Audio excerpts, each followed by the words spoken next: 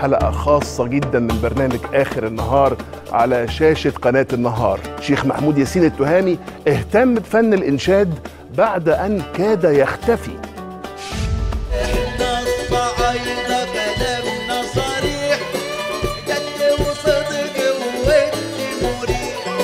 بس الخوف إن الأغنية ديات الصعايده يندمجوا فيكسروا الفرح.